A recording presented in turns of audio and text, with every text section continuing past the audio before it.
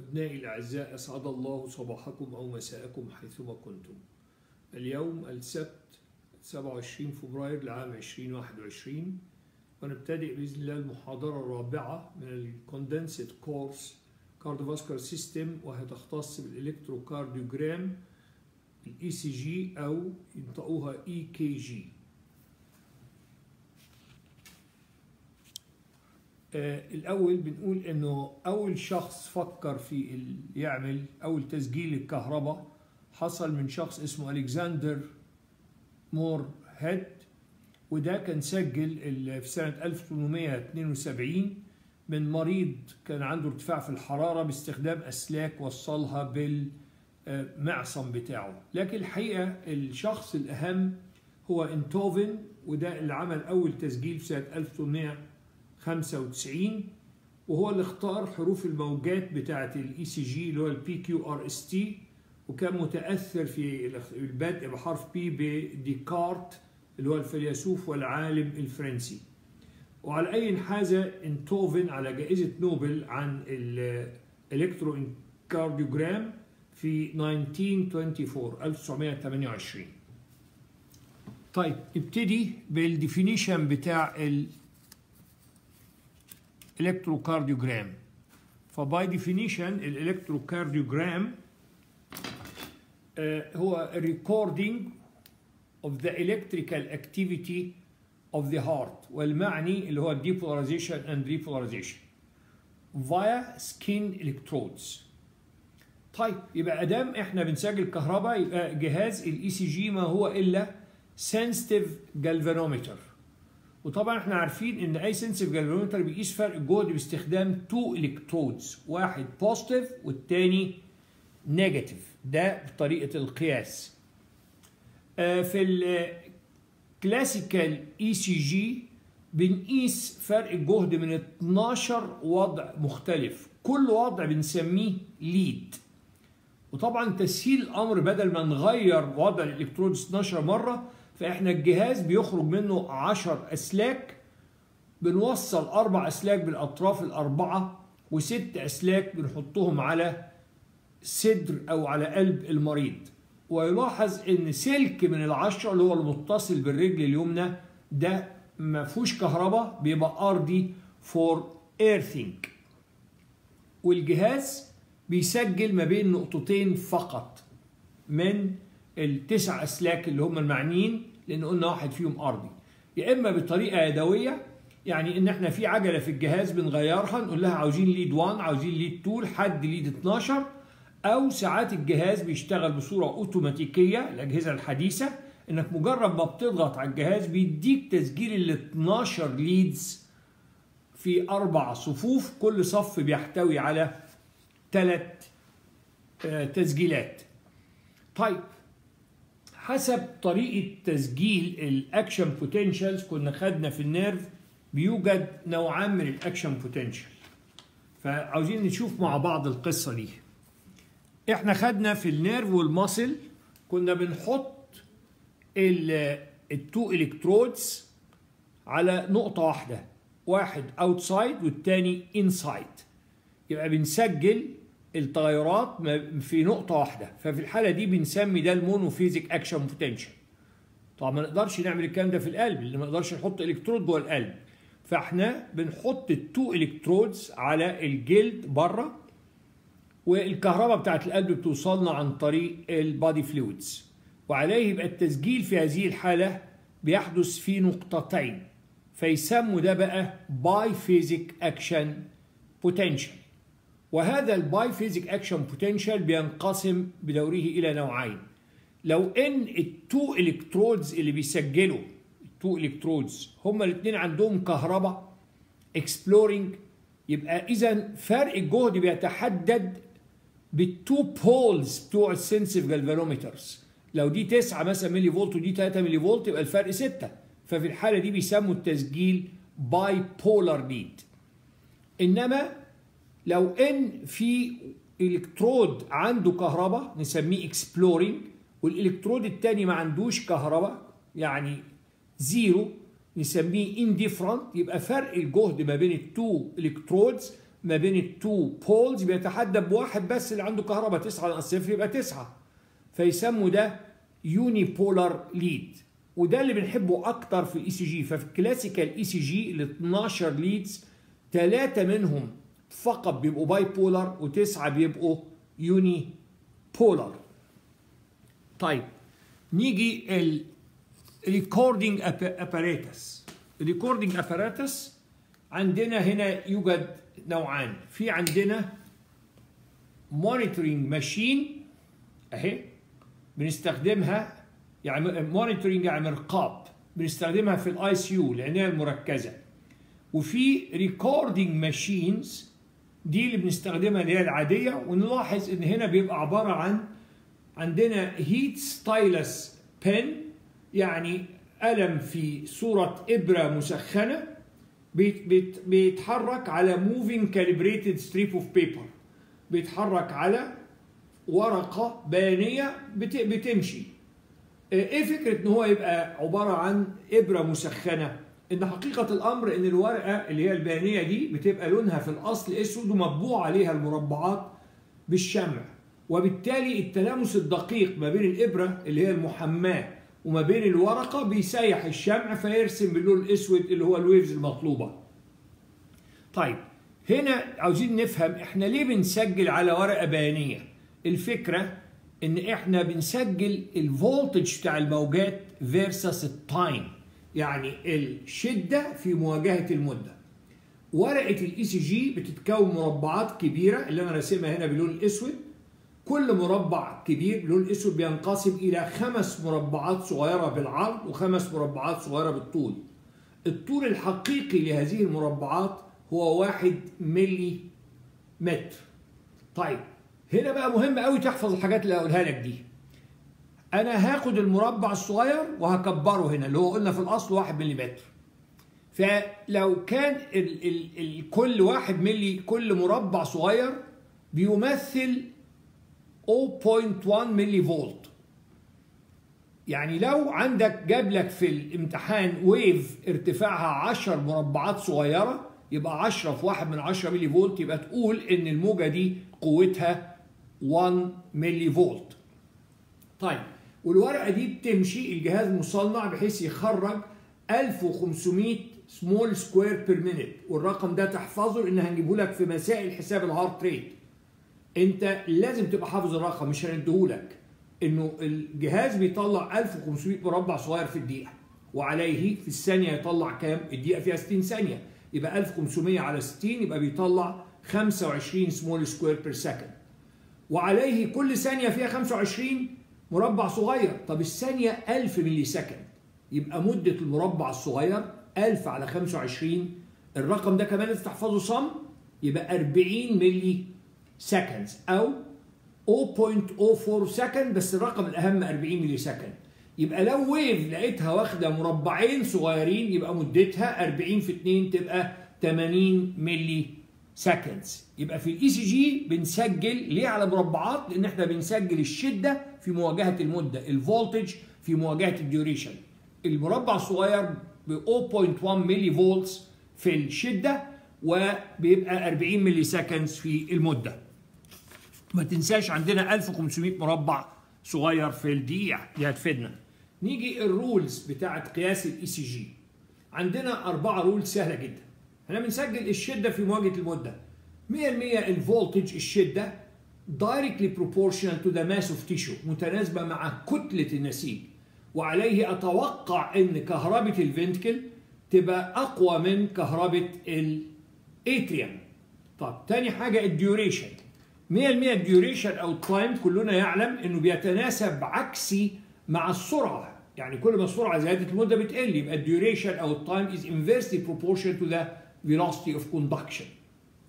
وعليه برغم إن ال ventricle أكبر من ال atria لكن زمن ال depolarization بتاعه قليل جدا. وكلنا عارفين ليه؟ لأن إحنا ال depolarization بتاع ال ventricle بيتم على ال Purkinje system اللي هو very fast بتوصل السرعة لحد 4 متر per second نيجي ثالث قاعدة في قواعد الأربعة اللي هي ال polarity يعني إمتى ال wave تطلع positive لفوق وامتى تطلع negative لتحت.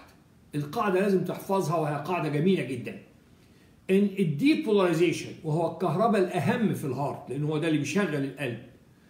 لما لما ال ال ال قلنا كل sensitive galvanometer أو كل جالفانومتر عنده two electrodes واحد positive واحد negative لو ال wave of depolarization is directed toward the positive electrode of the galvanometer هترسم positive deflection يعني upwards wave. بينما لو رايحه ناحية ال negative electrode هترسم negative deflection أو downwards wave يبقى سهلة جدا. ال positive لو رحنا ال positive electrode بندي positive wave لو رحنا ال negative بندي negative طب هنا في نقطة مهمة جدا. أنت تفتكر إحنا بنحب الرسومات تبقى لفوق ولا لتحت؟ واحد طبعا يقول لي بنحبها معدولة مش مقلوبة. طب ما إحنا اللي بن بن بن بنوضب وضع ال electrodes بتوع الجالفانومتر إحنا عارفين إن اتجاه الكهرباء في القلب بيبقى to the left and downwards. أهو لأن أدي ال SA node موجودة في ال right upper part of the heart. يبقى الاتجاه العام بتاع ال depolarization في القلب بيبقى to the left and downwards. أهو. يبقى تملي أقول لك حاجة بقية الطلبة تحفظ أنتوا هتبقوا فاهمين. لما يقول لك في two electrodes اختار مين ال positive ومين ال negative الكهرباء رايحة to the left يبقى تملي نختار ال left هو ال positive and downwards يبقى لو كان الاختيار بين فوق وتحت يبقى اللي downwards هو ال positive يبقى لأن الكهرباء رايحة to the left and downwards تملي ال left هو ال positive ولما يبقى الاختيار بين left و left واحد فوق واحد تحت نختار اللي تحت هو ال positive عشان تطلع الكهرباء positive deflection ال waves لفوق طبعا ال repolarization عكس قاعدة ال depolarization قاعدة ال depolarization أذكرك فيها بسرعة لما نروح لل positive تطلع positive wave والعكس بالعكس. طيب رابع نقطة اللي هي ال vector. إحنا في حقيقة الأمر ما بنسجلش single action potential يعني نفرض أدي ال atrium أهو وطالع منه كذا action potential إحنا بنسجل المحصلة ال sum بتاع ال action potential اللي هو نسميه vector يبقى ال vector هو ال sum of electrical activity حقيقة الأمر لطالب أذكى إحنا ما بنسجلش ال vector. تعال نشوف امال بنسجل إيه. نشوف مع بعض إحنا إيه نوع التسجيل اللي إحنا بنسجله. هنلاحظ الاتي إن إحنا لا نسجل vector إنما إحنا بنسجل اللي يوصلنا من ال vector عند ال lead أهي. يعني لنفرض ده ال lead اللي هو باللون الأسود أهو. وده اتجاه الكهرباء اللي هو ال vector. إحنا بنسجل ما يصلنا من ال vector عند ال lead يبقى بنسميه ال component of the vector علمونا وإحنا في ثانوي تحليل القوى بطريقة سهلة جدا. فقالوا لنا أي قوة عاوز تحللها عند هذا الوضع ال lead ده يبقى تسقط عمودين. يبقى اذا لطالب ذكي يبقى أحسن lead يسجل ال vector هو ال lead اللي هو باللون الاسود الموازي لل vector لأن في الحالة دي لما تسقط عمودين هيبقى طول ال component هو نفسه قوة ال vector. بينما بنفس الطريقة أسوأ تسجيل لما يبقى ال lead متعامد على ال vector لما تسقط عمودين هيبقى في الحالة دي zero. وطبعا يبقى أحسن لما حاجة لما يبقى موازي للل lead الكهرباء موازية للل lead اللي هو ال vector أسوأ حاجة ما تبقى متعامدة على ال lead. وطبعا لما تبقى مايلة يبقى ده اللي هو ما بينهم. يبقى دي القواعد الأربعة في قياس ال ECG نيجي بقى ما هو ال vector؟ ناخد مع بعض. يبقى ال vector إذا ارو الفيكتور إذا ارو represents the sum of electrical activity. يبقى الفيكتور عبارة عن سهم بيمثل محصلة ال electrical activity واي سهم له طول بنحرص إن الطول يبقى متناسب مع قوة الكهرباء واتجاه مساوي أو مطابق لاتجاه الكهرباء. يبقى هذا السهم عندنا حاجتين نلاحظهم فيه إن طوله يتناسب مع قوة الكهرباء واتجاهه هو اتجاه الكهرباء. طب إيه هو ال main electrical vector هو ال sum of vectors طيب في ده نقطة مهمة جدا. إحنا عندنا ال heart عبارة عن atria و ventricles فال atrial depolarization محصلة ال depolarization بتاع both atria بيبقى عندها vector واحد بس. أهو one vector directed زي ما قلنا جاي من ال SA node يبقى directed to the left and downwards بينما ال ventricular depolarization بيبقى عندنا 3 vectors تبقى حافظهم صم أول حتة في ال two ventricles بتتكهرب اللي هي ال septum عن طريق septal branch وده بيبقى اتجاهه احفظ. From left to right. إنما ال main depolarization ال main vector depolarization of the ventricle اللي هو ده هو اللي بيبقى متجه downwards and to the left لأن إحنا قلنا الكهرباء بتمشي من عند ال base of the ventricles رايحة ناحية ال apex وبعد ما توصل ال apex بتطلع تاني تبقى reflected على ال lateral wall فده ال vector التالي بيبقى directed upwards and to the left واحد هنا بيقول لي ليه to the left لأن إحنا طبعا الكهرباء بتبقى معظمها بتاعة ال ventricle فيما عدا أول wave بتبقى رايحة للل left لأن ال left ventricle 3 times as thick as the right ventricle. So we have three vectors in the ventricle. يبقى أول واحد هو في ال left لل right بتاع ال septum ال main رايح to the left and downwards وبعدين ثالث واحد هو رايح لل upwards لل base of the heart and to the left. طيب أحسن lead ده most typical lead اللي هو lead 2 وإحنا متفقين إن بيبقى ال positive electrode تحت. فتعال نشوف. يبقى في هذه الحالة بنستقبل ال P بتاعت ال atria وال main depolarization بتاع ال ventricle على ال positive electrode فتديني positive P اللي هي بتمثل atrial depolarization و positive R اللي هي بتمثل ventricular depolarization بينما ال two other vectors of the ventricle ماشيين واحدة to the right اللي هي بتاعت ال septum يبقى عكس ال... يبقى رايحة كأنها لل negative electrode اهي فتطلع negative Q وال S رايحة upwards برضه لل negative electrode فتطلع negative S يبقى فهمت ليه ال QRS complex بتاع ال ventricle واحدة بتطلع positive deflection اللي هي ال R لأنها رايحة ناحية ال positive electrode بينما ال Q وال S رايحين ناحية ال negative electrode فيطلعوا negative في lead واحد فقط وده سؤال مهم جدا. في ال ECG بيبقى بالعكس ال positive electrode فوق فوق وال negative electrode تحت اللي هو ال aVR وعليه لو سجلت الاربعه vectors بتاع ال atria والثلاثه بتوع ال ventricles في ال aVR بتطلع ال ECG زي ما انت شايف مقلوب اهو. تبقى فاهم ليه. ال rule إمتى يطلع positive وامتى يطلع negative طيب نيجي بعد كده نبتدي بقى ال actual recording what's lead قلنا إن إحنا بنسجل الكهرباء ب sensitive galvanometer وأي جالفانومتر عنده two electrodes واحد positive وواحد negative أي وضع لل two electrodes يسموه lead يبقى ما هو ال lead هو ال position of the two electrodes طيب الرسمة اللي هتنتج من هذه من هذا ال position نسميها برضه lead يبقى lead هو ال actual recording يبقى يوجد تعريفان للل lead هو ال position of the two electrodes أو هو ال actual recording اللي بيطلع من هذا ال position وقلنا إن إحنا عندنا بنصور ال heart في ال classical ECG من 12 وضع عندنا 12 leads وعشان للتسهيل قلنا بيطلع من الجهاز ال ECG أربع أسلاك. آسف 10 electrodes. أربعة بنوديهم لل four limbs وستة بنحطهم على ال heart على ال chest ولا تنسى إن بتاع ال right leg بيبقى earthing يعني حقيقة الأمر إحنا بنستخدم تسعة بس. ال leads بتنقسم بطريقتين. حسب ال site of the electrodes دي سهلة جدا. لو أنت بتقيس فرق الجهد ما بين ال electrodes اللي محطوطة على ال limb يبقى نسمي ده limb lead خلاص؟ وعندنا ستة limb leads ال lead 1 و 2 و 3 وال aVR وال aVF وال aVL لكن لو انت بتقيس فرق الجهد ما بين الأسلاك اللي موجودة على ال chest اللي هم الستة يبقى نسمي ده chest leads وعندنا من أول V 1 لحد V 6 يبقى التقسيمة حسب ال site سهلة جدا. نيجي حسب ال type of electrodes إحنا قلناها في الأول.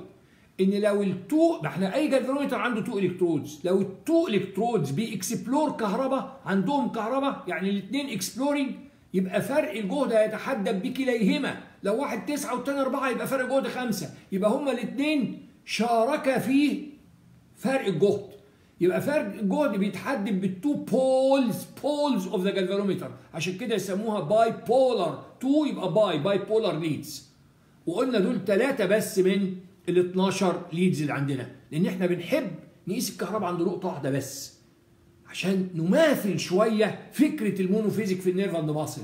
فبنخلي الكتروب منهم indifferent يعني الكهرباء عنده مقدارها صفر أهو ده ال indifferent واحد بس هو اللي بيبقى exploring وده ال positive electrode يبقى ال exploring في الحالة دي وال negative هو ال indifferent ده سؤال في ام مهم جدا.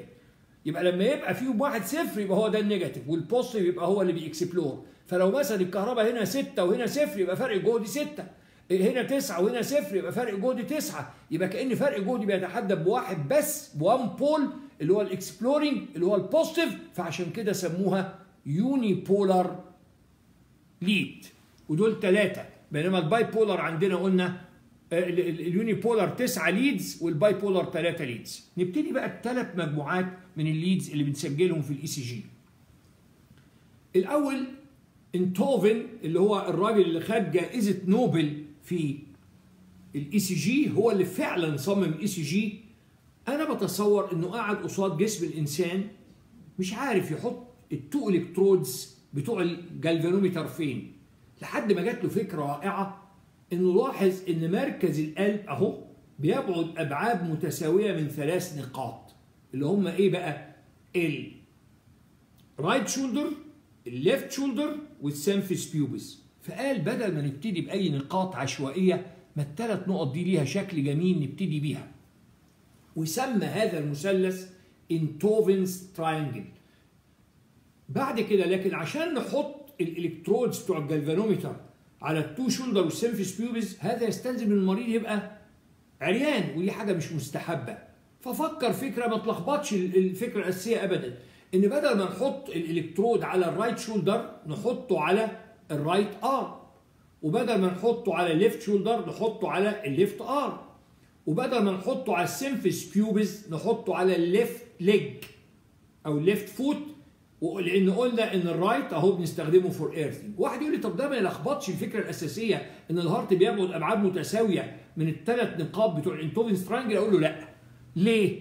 بص معايا أدي الجلفانومتر أهو. مش أي جلفانومتر هو الإلكترود عبارة عن إيه؟ عبارة عن سلك فاعتبر الدراع أو الرجل هي بقية السلك بتاع الجلفانومتر. يعني وأنت حاطط على المعصم الأيسر بيبقى كأنك حاطط على الكتف الشمال لأن الدراع شغالة زي بقية السلك بتاع الجلفانومتر فنقل ال electrodes من الليفت شولدر للرايت للليفت ارم والرايت شولدر للرايت ارم ومن ال symphysis pubis لل left ما غيرش القاعدة الأساسية إن ال heart بيبعد أبعاد متساوية من 3 points اللي هم ال Einthoven's triangle فالنقط دي ليها فكرة جميلة جدا. ففكر Einthoven انه يبتدي ال leads نبتدي منين بقى؟ نحط ال two electrodes على كل واحد على نقطة من نقطتي Einthoven's triangle طب نبتدي بمين؟ فكر معايا. الأول قبل ما أقولها أنا عاوز أقول لكم حاجة مهمة للزملاء الأصغر سنا. إن إحنا لما بنحط ال electrodes بنحطها مش مش على bony prominence ولا على muscle bulk على muscle جامدة لأن ال muscle عندها كهرباء. ففي حالة الذراعين بنحطها على المعصم الأيسر والمعصم الأيمن. في حالة ال left foot بنحطها فوق ال medial malleolus يعني في نهاية ال calf muscle على ال medial malleolus وطبعا إحنا قلنا الرابعة دي ما فيهاش كهرباء دي شغالة earthing فكر معايا. نبتدي منين؟ دلوقتي إحنا قلنا الذراعين أهم من رجلين 100% لأن قلت إنه إحنا إيه الفرق بيننا وبين ال animals؟ إن ال animals بتستخدم الأربع أقدام for propulsions للدفع إنما إحنا بنستخدم اثنين بس رجلين واختزلنا اثنين صنعنا بيهم الحضارة فيسموهم حتى ال organs of manipulation يبقى 100% بنخلص من القصة دي إن الذراعين أهم من القدمين وبالتالي نبتدي بالذراعين يبقى lead 1 اوعى تنساها الحاجة الأهم ما بين right arm و left arm طب lead 2 لازم آخد إيد مع دراع؟ أبتدي بأنهي إيد آخدها مع إيد مع رجل؟ طبعا الواحد يقول لي طبعا أبتدي باليمين لأن حتى الواحد لما بيثني على واحد بيقول له أنت دراع اليمين. ف lead 2 ما بين الدراع اليمين والرجل الشمال؟ أنا عارف في الفيديو بتطلع بالعكس بس أهي دي اللي فيها الساعة دي هي الشمال.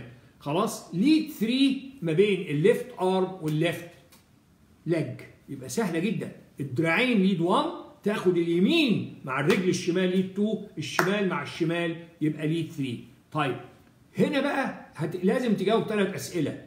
هل هو limb lead هل هو bipolar ولا unipolar ومين ال positive electrode الإجابة سهلة جدا. إحنا حاطين الأسلاك على ال limb يبقى ده limb lead هنا في كهرباء وهنا في كهرباء أو هنا في كهرباء وهنا في كهرباء. يبقى ده bipolar limb leads طب فين ال positive كل الطلبة هتحفظ حضراتكم مش هتحفظوا.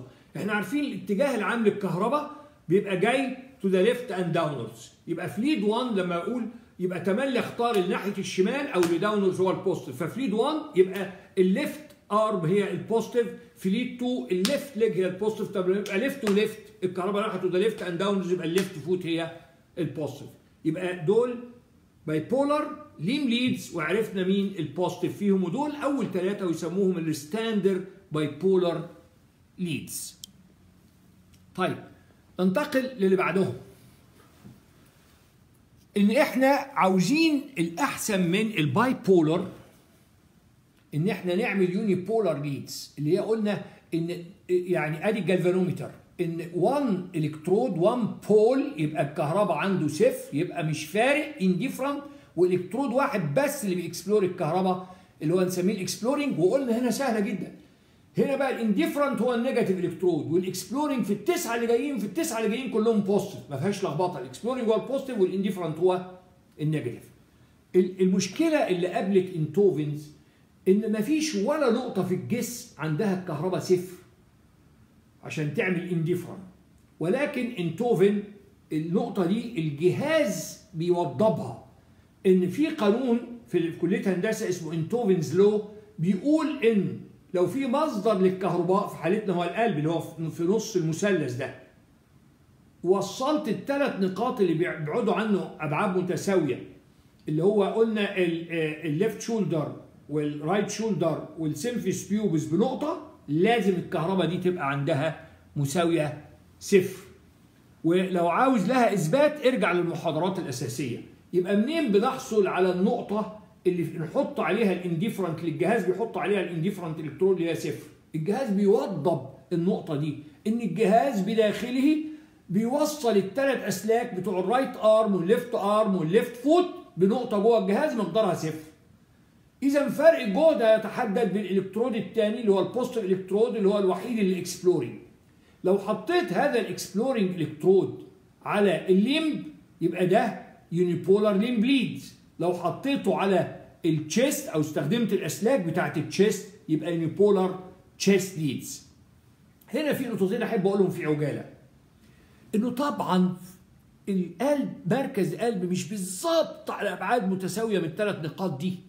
فقانون أينتهوفن الهندسي ما ينطبقش بالظبط على ال human beings عشان كده ممكن يبقى هنا الكهرباء مش صفر يبقى في كهرباء ضعيفة شوية.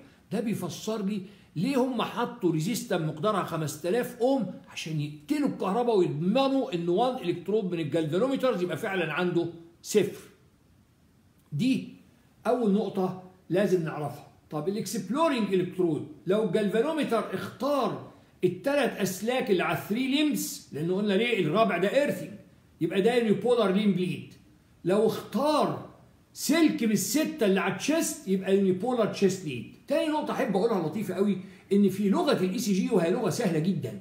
قلنا ال بترمز للليفت ار والار بترمز للرايت ارم والاف بترمز لل ليفت فوت طيب unipolar اللي بيرمز ليها هو حرف ال V واحد يقول لي بس كلمة unipolar ما فيهاش حرف V جابوها منين؟ أقول لك هو إزاي عملنا ال unipolar leads وصلنا ثلاث نقاط بتوع ال Einthoven's triangle بنقطة فتبقى صفر.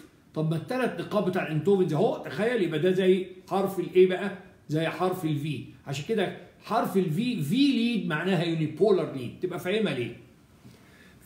زمان كانوا في حاجة اسمها unipolar limb leads ثلاثة unipolar limb leads لو حطينا الكترود على ال L يبقى VL لو حطينا ال exploring electrode على ال R والتاني على الثلاثه يبقى VR لو حطينا ال exploring electrode على ال F والتاني على الثلاثه يبقى يسموها VF بطلوا هذا القياس اللي هو والنهاردة الدنيا اتغيرت وبقينا نعمل بدل. unipolar limb lead بقينا نعمل حاجة اسمها augmented unipolar limb lead يعني limb lead مقوى. إزاي؟ لاحظوا تعالى أقارن ال VL القديم اللي هو unipolar L بال aVL اللي هو ال augmented unipolar L في فرقين. إن طبعا هنا لغة ال ECG سهلة جدا ومعبرة جدا. ال يعني الالكترود الاكسبلورنج محطوط على ال وهو ده البوزيتيف في يعني الثاني محطوط على الثلاثه اللي هي قيمتهم صفر. إنما في ال augmented unipolar limb leads لاحظوا إن لو حطينا ال exploring على ال L في ال aVL عادي يبقى هنا زي هنا. بس حطينا الثاني بقى اللي هو ال indifferent مش على محصلة الثلاثه على محصلة الاثنين اللي فاضلين بس اللي هم ال R وال F حتى أنت شايفني راسمه أهو وأسقطت اللي موجود على ال L. فلاحظنا ولها إثبات هندسي برضو بس مش عليك إن هيطلع نفس الرسمة نفس ال voltage difference بس أكبر 50% يعني مرة ونص ال aVL أقوى من ال VL مرة ونص وعشان كده سموها augmented augmented يعني مقوى. يبقى دول الفرقين ما بين لما يسألك ما بين ال VL وال aVL أو ال VR وال aVR إن هنا نقطة في مواجهة ثلاثة هنا نقطة في مواجهة اثنين وإن الرسمة مكبرة مرة ونص. وبالتالي بقى عندي ثلاث أنواع من ال leads aVR بنحط ال exploring على ال R وال indifferent اللي هو ال negative على الاثنين اللي فاضلين. aVL بنحط ال exploring ال positive على ال L والثاني على الاثنين اللي فاضلين. aVF بنحط ال exploring اللي هو ال positive على ال F والثاني ال negative على الاثنين اللي فاضلين اللي هم ال R L وال R طيب ننتقل لل unipolar chest leads هنا بقى ده typical unipolar يعني اللي هي من V1 ل V6 في شوف لغة ال ECG سهلة جدا. يبقى في الكترود اللي هو ال indifferent اللي هو ال negative الجهاز موصل الثلاث نقاط ببعض اللي هم ال R وال L وال F بنقطة جواه مقدارها صفر. في مقابل مين بقى؟ سلك من الاسلاك الستة اللي إحنا already حطيناهم على ال chest اللي هم من V1 ل V6 وهنا بقول ال nurses عارفة أماكن الحاجات دي فعيب قوي إن طبيب يبقى مش عارفها. ال ECG ده basic لازم يبقى عارفينه. طالب ذكي قال لي نفكر هل نحط ثلاثة على اليمين وثلاثة على الشمال؟ لأ. قال لي ال heart معظمه ناحية الشمال. يبقى نحط واحد بس ناحية اليمين اللي هو ال V1 إنما من أول ال V2 لحد ال V6 يبقوا ناحية ال left لأن ال heart أكتر to the left وأنا بحفظهم لكم بطريقة جميلة وسهلة جدا. هقسم ال V1 ل V6 لثلاث مجموعات. أول مجموعة هنحفظ V1 و V2 هما الاثنين في ال fourth space ال fourth intercostal space parasternal يعني لازقين في ال sternum أمال إيه الفرق ما بين V1 و V2 إن V1 هو الوحيد اللي ناحية ال right و V2 ناحية ال left fourth intercostal space. طيب هناخد أربعة وخمسة وستة نحفظهم مع بعض. نبتدي بأربعة. هننزل space. ننزل في ال fifth left intercostal space. فين بالظبط؟ عند ال midclavicular line في نص ال clavicle أما V5 و V6 نحطهم على نفس ال line بتاع V4 بس V5 هتبقى عند ال anterior axillary line و V6 هتبقى عند ال mid axillary line يبقى عندي V3 V3 دي بقى تبقى ما بين V2 و V4 غالبا هتبقى على ال rib ما بين ال fourth وال fifth intercostal space يبقى ده ال unipolar chest leads واحد قال لي طب حفظهم لنا بسرعة. تعالوا نقولهم بسرعة جدا. إن إحنا في ال classical ECG عندنا 12 leads 6 limb leads و6 chest. ثلاثة منهم bipolar limb وتسعة unipolar ثلاثة unipolar limb وستة unipolar chest وأنا بقولها بطريقة لا تنسى. اوعى تنسى فكرة القياس بتاعت ال Einthoven's triangle اللي هو الثلاث نقط. فلو خدنا نقطة مع نقطة من ال Einthoven's يبقى ده ال bipolar limb leads. فلو خدت ال right shoulder أو right arm مع ال left arm الدراعين ده lead 1 طب لو خدت الدراع اليمين مع الرجل الشمال يبقى ده lead 2 لو خدت الدراع الشمال مع الرجل الشمال يبقى ده lead 3 يبقى هنا بتاخد نقطة مع نقطة من المثلث. وقلنا مين ال positive electrode اوعى تنسى. تملي اللي to the left يبقى هو ال positive واللي downwards يبقى هو ال positive إنما نيجي ال augmented unipolar limb leads. هنا هناخد نقطة مع نقطتين في المثلث. نقطة مع نقطتين. نقطة هي ده ال exploring هو ده ال positive والنقطتين ده ال augmented unipolar اللي هو عليه ال negative electrode والأسامي معبرة جدا. aVL ركز في الحرف الأخير L يبقى ال exploring ال positive على ال L والثاني على الاثنين اللي فاضلين R و F aVR يبقى ال exploring ال positive على ال R والثاني على ال L وال F aVF يبقى ال exploring على ال F والثاني على ال R وال L أما ال unipolar chest leads فده typical unipolar ويسموها precordial لأنها قدام القلب. هنا بقى بتاخد نقطة مع ثلاثة يبقى شوف طريقة لطيفة إزاي. لو خدت نقطة مع نقطة يبقى bipolar limb leads من المثلث. خدت نقطة مع النقطتين اللي فاضلين في المثلث يبقى augmented unipolar limb leads خدت نقطة على ال chest هنا بقى مش نقطة في المثلث نقطة من النقاط الستة اللي على ال chest مع الثلاث نقط بتوع ال Einthoven's يبقى ده unipolar chest leads أو ال precordial. من V1 ل V6 ولا تنسى إن V1 و V2 هما الاثنين في ال fourth intercostal space parasternal الفرق إن في 1 right وفي 2 left. V4 و5 و6 V4 هننزل space هتبقى في ال fifth intercostal space في ال mid clavicular. V6 هتبقى في ال antero axillary V5 هتبقى في ال mid axillary كلهم على ال horizontal line بتاع V4 V3 ما بين V2 و V4 بمعنى آخر أوريها لك بسرعة جدا. يبقى لو خدت نقطة مع نقطة دي دراعين يبقى lead 1 الدراع اليمين الأهم مع الرجل الشمال lead 2 الدراع الشمال مع الرجل الشمال يبقى lead 3 ده bipolar limb leads ولازم تقول اللي ناحية ال left أو اللي تحت هو ده اللي يبقى positive لما يبقى عندك two exploring لازم تقول مين positive ومين negative إنما في اللي جايين هناخد نقطة مع نقطتين. يبقى ده ال augmented unipolar limb leads حسب نقطة لوحدها. تبقى دي ايدي اليمين تبقى aVR لو الشمال يبقى aVL الرجل مع الاثنين يبقى aVF وهنا اللي positive هو اللي لوحده اللي هو ال exploring electrode أما في ال chest leads بتاخد الثلاث نقط دول ده typical unipolar سيف في مواجهه سلك من الستة اللي على ال chest بنبتدي الوحيد اللي ناحية اليمين اللي هو V1 و V2 في ال fourth intercostal space parasternal واحدة right وواحدة left. وبعدين بتنزل 4 و5 و6 في ال fifth space. أربعة في ال fifth space وخمسة وستة في ال horizontal line بتاعهم. واحدة في ال mid clavicular antero axillary and mid axillary V3 اللي هي ما بين V1 و V2 طيب تعالى بقى نشوف حاجة أخيرة عندنا. نقاط مهمة جدا في الأسئلة. في حاجة اسمها إحنا ليه بنرسم وبنسجل من 12 lead مختلف؟ إيه الفكرة؟ إن إحنا each lead record the electrical activity from different angle.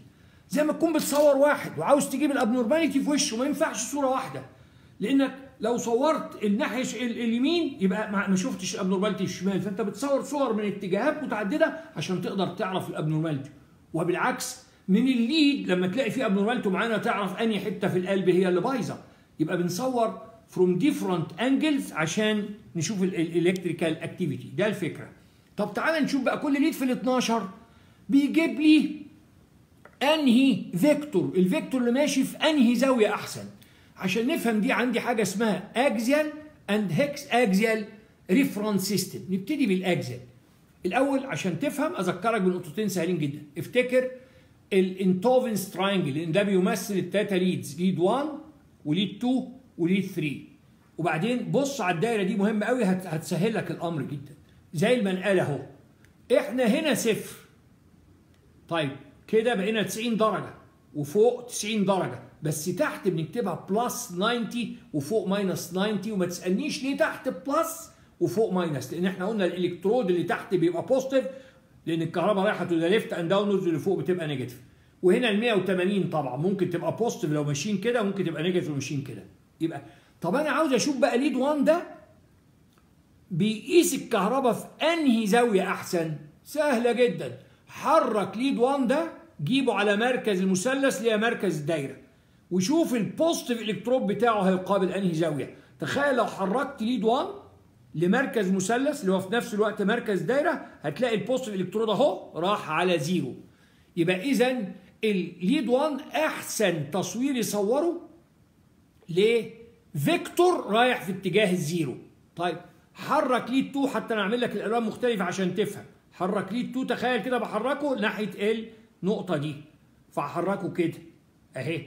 فلقيت إنه ال positive electrode بتاعه اللي هو تحت أحسن حاجة يصور لما يبقى ال vector ماشي عند plus 60 وعلى فكرة ده الاتجاه الأساسي لل depolarization في ال heart to the left and downwards عشان كده lead 2 هو ال most typical lead أحسن lead نتفرج فيه على ال ECG. طب lead 3 حركه كده هاته عند مركز المثلث.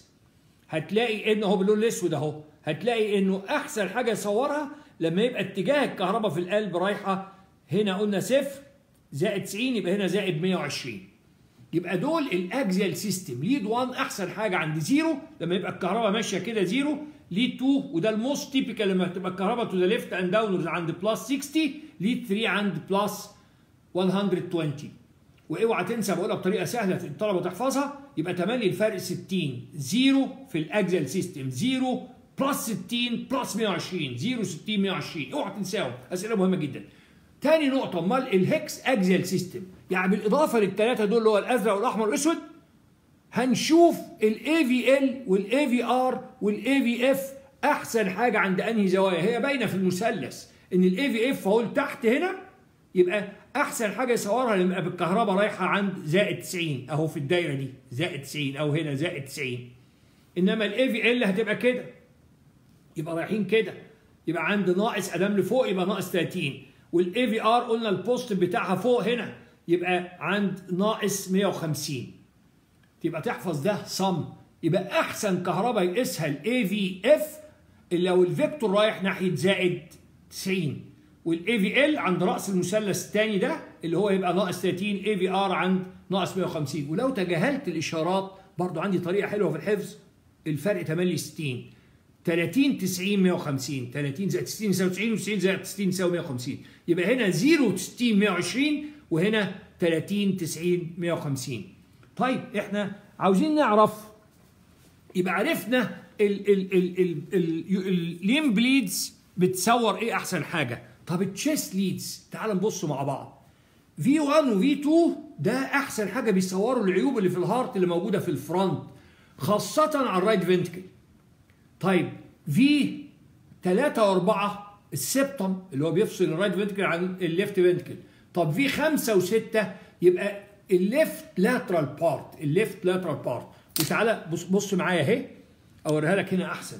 يبقى V 1 و V 2 اهم هنا. ده يجيبوا ال front وخصوصا ال right ventricle وبعدين V 5 و6 هيجيبوا ال left ventricle أو ال left lateral وما بينهم V 3 و4 يجيبوا ال septum يبقى سهلة جدا. طيب هنا في سؤال جميل تاني يقول لك هل ممكن حاجة تاني تقيس ال left ventricle أهميته؟ في حاجة تاني تجيب ال left ventricle غير V 5 و V 6 طبعا ال aVL وأوريك الرسمة مرة أخرى أهو ال aVL إحنا رايحين ناحية ال left. يبقى ال left ventricle أو ال left lateral أحسن leads تبين إن في عيب ولأن ده مهم جدا. ال left ventricle هو أهم ventricle بأهم من ال right ventricle يبقى V 5 و V 6 وال aVL إنما V 3 و4 يجيبوا ال septum 1 و2 يجيبوا ال frontal أو right ventricle ولا تنسى ال axial system فاكرينها؟ 0 90 120 وال hexaxial لما تحط معاهم الثلاثه التانيين شوف رؤوس المثلث موجودة فين؟ ناقص 30 ناقص 150 زائد 90 ولا تنسى إن هنا الصفر يبقى اللي فوق بال minus لأنه ده ال negative electrode واللي تحت بال plus فاضل حاجة طب ال limb leads إيه الفرق بين ال limb leads وال chest leads؟ ال limb leads بتصور القلب أحسن ما يكون في ال frontal أو ال vertical plane بينما ال chest leads بتصوره أحسن حاجة في ال horizontal plane وشوفها معايا تاني. تخيل لو أنا كده وقفت بس مش هقدر أقف يعني مشيت لحد الحائط. فين المستوى اللي بيجمع ال two arms وال left leg اللي هو ال frontal plane لكن لو خدت دول في مستوى واحد من V 1 لحد V 6 اللي هي في ال mid axillary هنا وقلنا خمسة اللي هو ال antero axillary مين المستوى اللي بيجمع دول كلهم اللي هو ال horizontal plane يبقى ال ال ال limb leads بتصور كهربة ال heart أحسن ما يكون في ال frontal plane إنما ال chest leads أحسن ما يكون في ال horizontal planes دي الأسئلة المهمة وأشكركم لحسن إنصاتكم وإلى أن نلتقي مجددا في محاضرة جديدة. أستودعكم الله وشكرا.